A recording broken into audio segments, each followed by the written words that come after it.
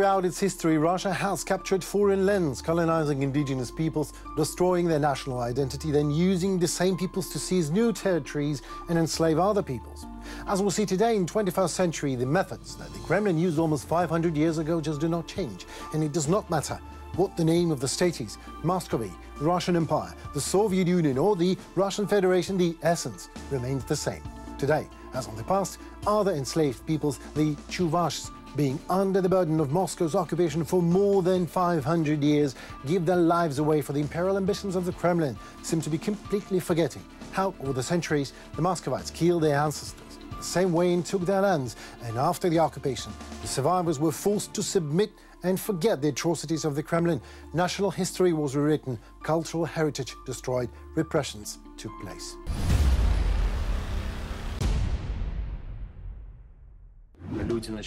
People started picketing against the war. Everyone's positions here is straightforward. No one supports the invasion. There were protests directly in the military units here. 3,000 people were mobilized here and a lot of them have already died. Majority of the mobilized in Chuvashia are people from the regions of the Republic. In history classes we were told that Chuvashia voluntarily joined Russia, but this is a lie. Muscovy began to enslave the Chuvash people, making them serfs of the Tsar. Processes connected with dekulakization, collectivization, malnutrition, death, cannibalism. Right now, direct action is the most powerful form of the protest. I want people to have a right of choice. I want people of Chuvashia to have a right to choose. If people want to secede from Russia, they should have that opportunity. Our goal is to gain independence.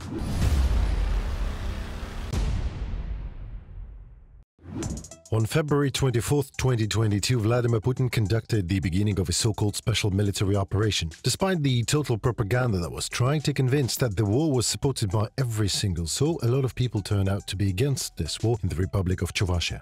The opposition part of the population immediately stood up against the war and began to organize protests and rallies. The cases of civil disobedience did occur. Activist Stanislav Arsentiev was the first citizen of Chuvashia who went picketing on February 24th, the day when the special operation was conducted. The case of Yulia Kaburkina, an artist from Cheboksary, who stuck little men with anti-war messages on store price tags. Those were papermen with such phrases as war means death and no to war. No one told us we had to go there, invade, defeat the Nazis. There was no such thing at all. Россия, я считаю, что да, действительно она напала, и это, это совсем неправильно. Мы находимся в оккупации в собственной стране, это действительно так. In the evening, people started picketing. People had to honk if they were against the war. They honked and were immediately detained. The Chuvash symbol Kileshu appeared as a sign of protest. I will tell you about this performance. There was a letter Z at the Arbat Cheboksary, and suddenly a man came in broad daylight and taped it up. That is, he crossed it out. Kileshu means peace. There was a situation with a shopping mall in the center of Cheboksary that stopped working. We had announced a rally near the Dom Mart building. Even employees were not allowed to go out to smoke, to go to the shop to get some air. The barriers were placed right next to the doors. Speaking about the war, everyone's position here is straightforward. No one supports the invasion. Очевидно, это санкции, это уровень жизни, который и так был на дне. Он пробьет еще одно дно, и э, мне страшно жить в этой стране. With the beginning of the special operation, repression took a new level. The repressive apparatus gained more power.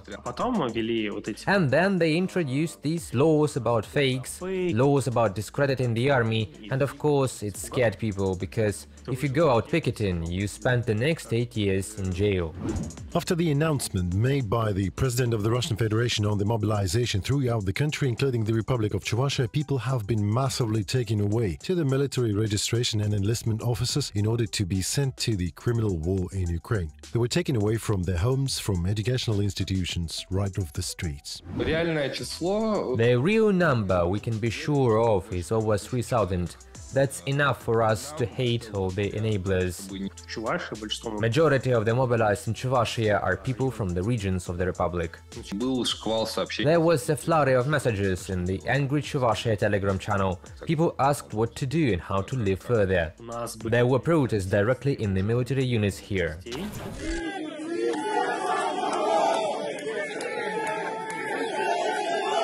When there was the first wave of mobilization, there was a riot in Cheboksary military units because people didn't want to go. The commanders came out to them and tried to negotiate with them. As a result, they organized a kind of rally of him. They came out of the military unit and shouted Khamar Yao, which means this is our village, our yard.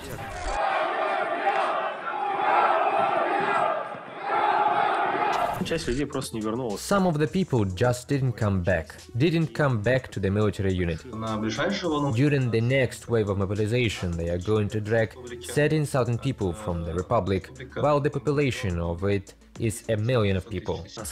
This is actually a big number for the Republic. We helped the mobilized to evade mobilization. People were taken out in various ways, not only by plane.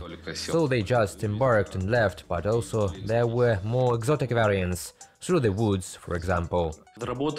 We worked as human rights activists, helped people not to go to the war, explained that they could refuse taking summons, explained how one can refuse to go to the war.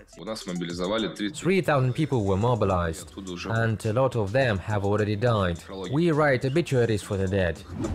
Due to the data posted by the Ministry of Defense of Ukraine, the Russian army has already lost 260,000 soldiers and officers. Mostly those are representatives of the indigenous peoples from the national republics that currently are part of the Russian Federation. They are fighting with the hands of indigenous people, with the hands of rural people. Indeed, there was an order not to mobilize people from large cities. We saw it on the example of Moscow. We see it on the example of Cheboksary. Putin doesn't care about those he needs to kill. He just kills those who can't defend themselves. The Chuvash-speaking population, ethnic Chuvash population, lives outside of big cities. They are those people who were hit with the wave of mobilization. This is just an existing fact. The Chuvash potential vanishes. Young, able-bodied people, those who know the Chuvash language, leave. More than 190 peoples live on the territory of the Russian Federation. Most of them are indigenous peoples enslaved and colonized by Moscow in different periods of their history. So how did the Chuvash turn out to be a part of Russia after all?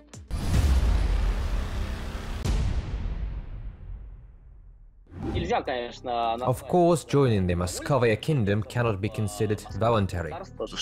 What does it mean that Chuvashia voluntarily joined Russia? The year 1552 was marked by the defeat of the Khanate of Kazan by Ivan the Terrible's troops.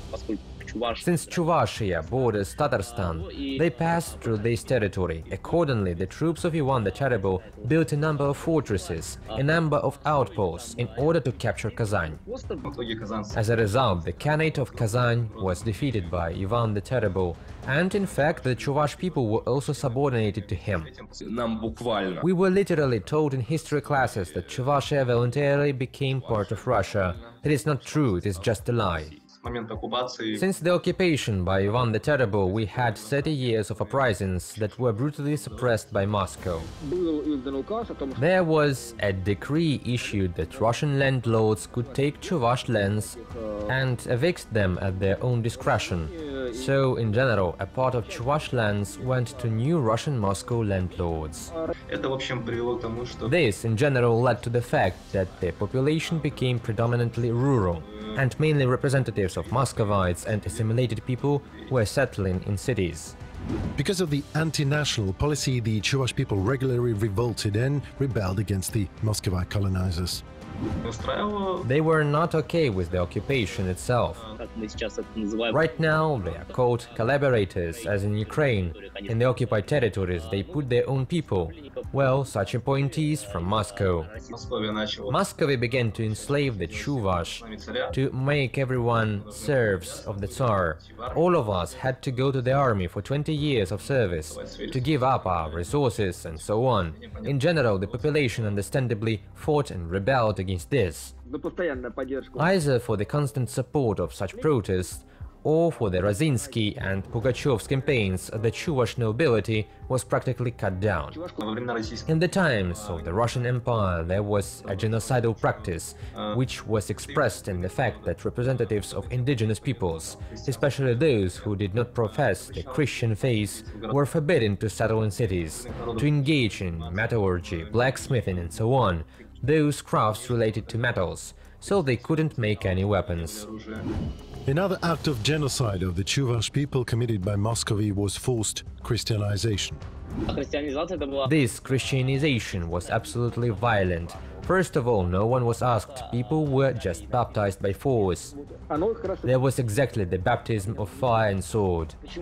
The reason why now, for example, it is very rare to find indigenous Chuvash names among the Chuvash people is in the Christianization with which Russian names were signed. For example, I am Chuvash by nationality, but my name is Dmitry Semenov. It is very rare to meet someone with an indigenous name like Sekhmer, Narspi, Ilimbi, or something like that in his passport. Despite the Moscow occupation for more than 400 years, the Chuvash managed to preserve their national identity, and during the collapse of the Russian Empire, they revived their statehood. In 1917, the year of the collapse of the empire, the Chuvash also wanted to have their own state very much. The majority of Chuvash people supported the Bolshevik Red Revolution to a great extent, because the region was peasant and quite poor, so those ideas resonated with them. They supported the Reds, thinking they would thereby gain their greater sovereignty. They conducted a declaration of independence. As a result of the collapse, the Chuvash ASSR appeared. Communists then managed to convince various nations that they, the communists, would give those nations freedom from empire, but they built a new empire. One of the most terrible trials for the Chuvash people was the famine in the Volga region in years 1921-23. Processes connected with dekulakization, collectivization, malnutrition, death, cannibalism took place in the territory of Chuvashia, as well as there was the Holodomor in the territory of Ukraine. During that period, the Chuvash in the villages had to eat their dead children, so severe was the famine. All the peoples that lived in the Volga region at that time suffered, and then those territories where people had died out began to be massively populated from all over the Soviet Union, so they could mix people up. During the collapse of the Soviet Union, Chuvashia's national consciousness awakened with the new vigor. In the post-Soviet era, Yeltsin told the peoples to take as much sovereignty as they could handle. Вы возьмите ту долю власти, которую сами можете проглотить. in Chuvashia, a declaration of state sovereignty and in fact a declaration of independence was adopted on October 27, 1990. Everything connected to the culture and national languages was flourishing. We had newspapers printed in our own language, literature was in our own language, poetry published and so on. The declaration, this independence, was about Chuvashia being at that time a republic like the independent republics that were seceding the Soviet Union. Uh, Education was in Chuvash language. Russian was studied from the second grade as a foreign language, like English is taught from the second grade, so we had Russian in that way. The Chuvash language had finally become a state language. That is, before that this language did not have such a status. There are such places in Chuvashia where you can come and people don't speak Russian at all. They speak only Chuvash. Still, there were some kind of elections under Yeltsin, there was something. When Putin came, all elections were cancelled. With the help of various loopholes, federal treaties and other tricks, Moscow destroyed it all and turned Chuvashia into just an occupation district. Chuvashia and all other national republics within Russia were actually deprived of autonomy and sovereignty. They implemented a policy of gradual Russification, and now, for example, we have come to the point that Chuvash is an optional language. The very base of the Soviet Union, where people were repressed for speaking Chuvash, and the Russian Empire, where the Chuvash were treated as foreigners who are not allowed to work, to do business, not allowed to get positions and such like. And therefore, if we believe that the empire should collapse, then it is not the Soviet Empire, but the Russian Empire. And accordingly, such national republics as Chuvashia and Tatarstan and others. Well, those who want to, of course. Now there is no point in protesting at anything in the way it used to be done, because rallies and ribbons can't change anything. Right now direct action is the most powerful form of protest as far as we deal with terrorists.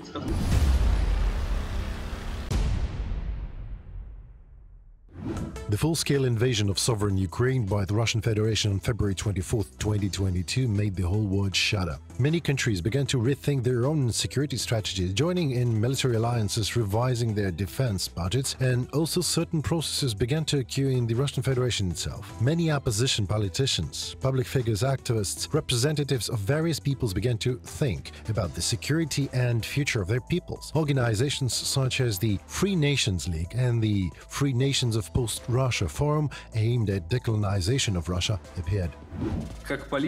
As a politician, I want people to have a right of choice. I want people of Chuvashia to have a right to choose their future on their own. The main thing is for people to decide, and it is not so important that there are institutions. The main thing is that there are documents that we can rely on. The main thing is that there should be communities within the Republic that want freedom. In March 2023, online referendums on independence were held in some regions of the Russian Federation, including Chuvashia.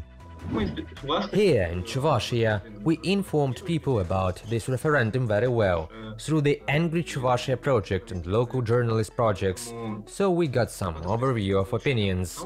I advocate as rigidly as possible that if people want to secede Russia, they should have such opportunities. There should be all the legislative mechanisms to do it legally. It is important for us that according to the results of this referendum, people generally support our independence. I believe this is an axiom that doesn't need to be proven. People should have a choice, freedom of choice. As well, we were the initiators of the National Revival Assembly, which aims to bring together all national movements that realize that freedom can only be obtained through physical means.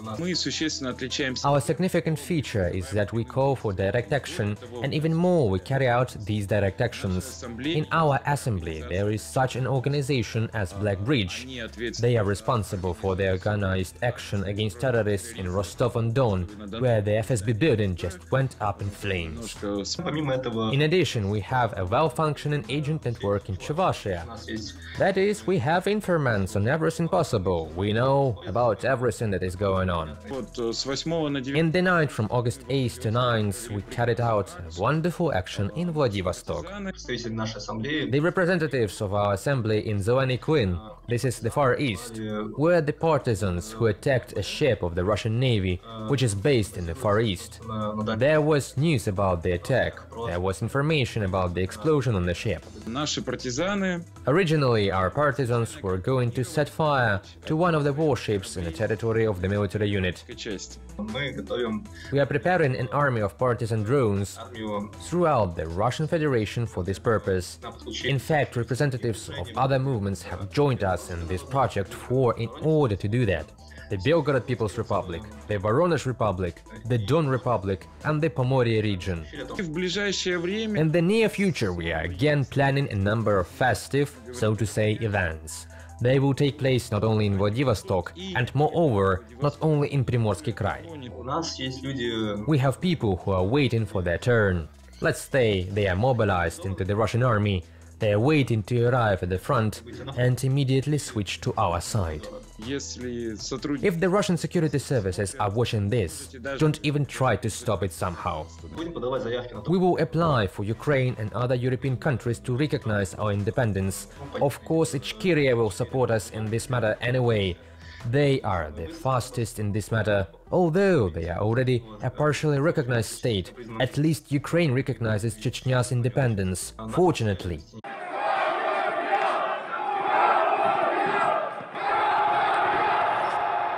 Чуваша будет свободной и счастливой. И Our goal врача is to gain independence.